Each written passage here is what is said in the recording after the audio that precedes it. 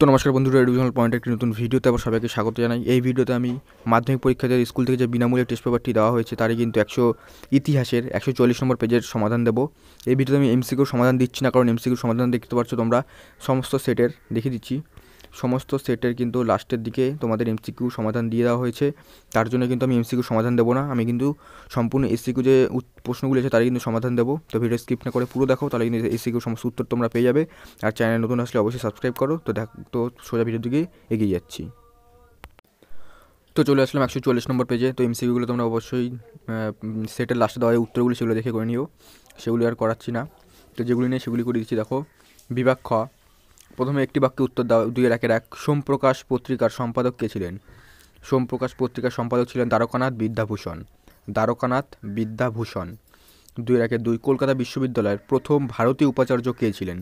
কলকাতা বিশ্ব বিশ্ববিদ্যালয়ের প্রথম ভারতীয় উপাচার্য ছিলেন গুরুদাস বন্দ্যোপাধ্যায়। গুরুদাস বন্দ্যোপাধ্যায়।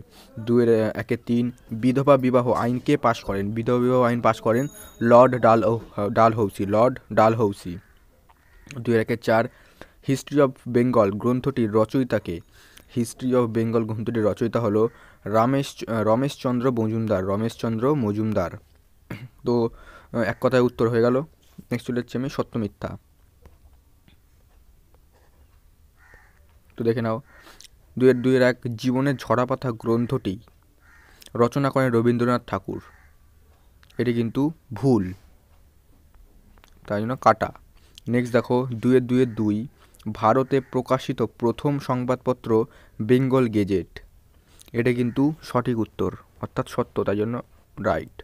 নেক্সট দুয়ের দুয়ের তিন, এ নেশন ইন মেকিং। এর গ্রন্থ গ্রন্থ, এর রচয়িতা হলেন সুরে- সুরেন্দ্রনাথ বন্দ্যোপাধ্যায়।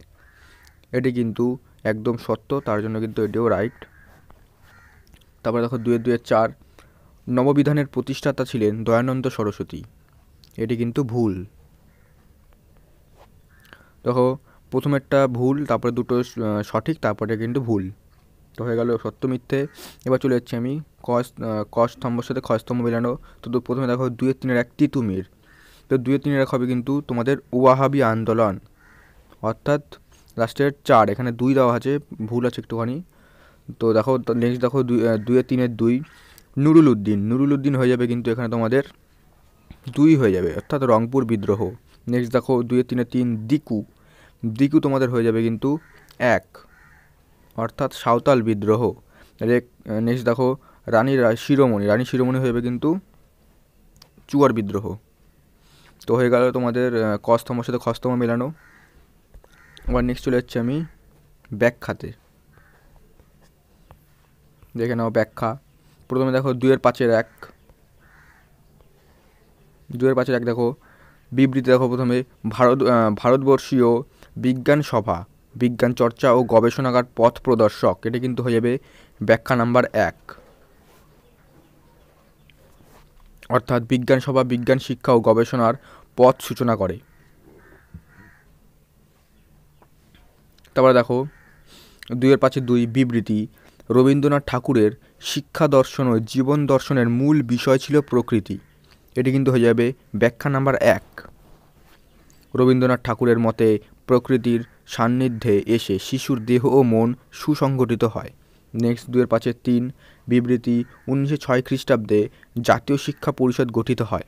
এটি কিন্তু হয়ে ব্যাখ্যা নাম্বার তিন, জাতীয় শিক্ষার প্রসারের জন্য। দুয়ের পাঁচের চার, বিবৃতি বিদ্যাসাগর বর্ণপরিচয় গ্রন্থ রচনা করেন।